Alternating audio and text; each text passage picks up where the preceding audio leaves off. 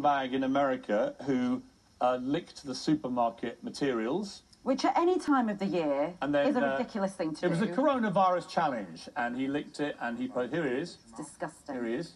He's now been uh, found. He's been charged uh, with, I think, attempted act of terrorism, Ah. and is facing five years in the slammer minimum, uh, which may stop him licking supermarket materials for quite a while. You may remember also the other idiot.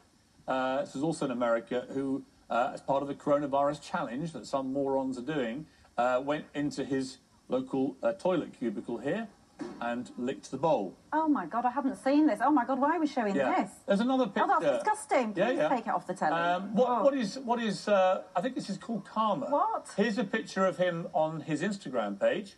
Yeah, he's got coronavirus. I know. That's him in hospital. So uh, uh, Do you third know one. what? He expects someone to save his life now. Yep. He expects someone to provide some Yeah, medical and assistance. And he'll be putting a healthcare professional at risk. I wouldn't give them Absolutely any treatment. Yeah, you do that. No, I wouldn't. Well- I wouldn't. I, I would say no treatment. And what about this? Also in America, and by the way, it's not just an American thing. There just happen to be stories that come from America, but idiots are everywhere.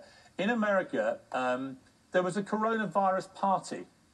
People all went to a coronavirus party, and I thought all- they said no gatherings of more than 10 in Right. So they ignored that, and they all dressed up as coronavirus patients and doctors and nurses. And one of the people at the party is now seriously ill with coronavirus and may die. Right. Th- this is what happens.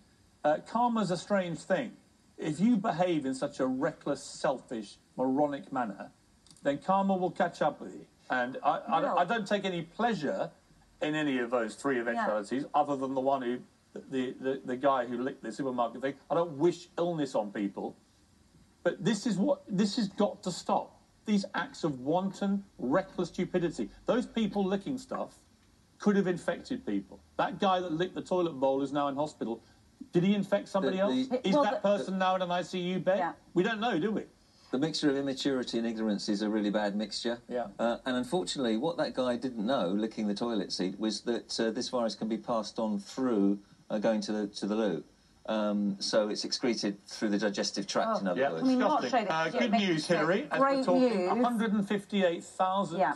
decent, good people in this country have signed up to the NHS amazing. volunteer line in just 12 hours. Everybody Amazing. wants to do So something. they're, they're almost Yeah. there already. So keep volunteering. If you've And- got the ability to help, Look, the vast majority of people can